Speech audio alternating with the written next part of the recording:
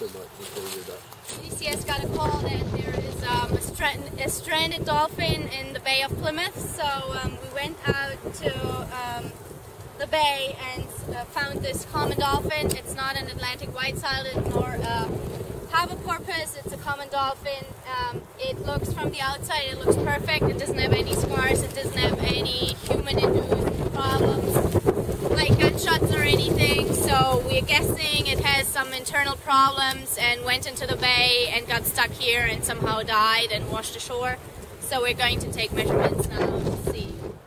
To measure a dolphin, you do specific um, different parts. You start at the snout, um, you go to the start of the melon, then you do the whole mouth, um, you go up to the eye and the blowhole, and then you go backwards to the fin and um, until you reach the fluke.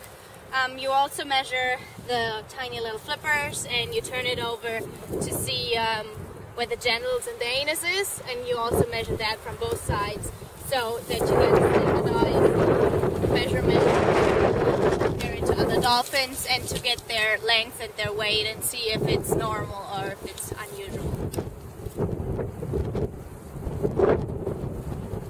Finally, we can say that this animal is still alive when it was washed ashore because it has bruises from uh, animals picking at it, um, birds picking at it.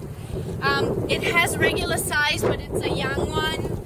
Um, it's very skinny, so we're guessing that it had some internal problem, and the New England New England Aquarium from Boston is coming to pick it up for necropsying, and they will probably find out what killed it in the end.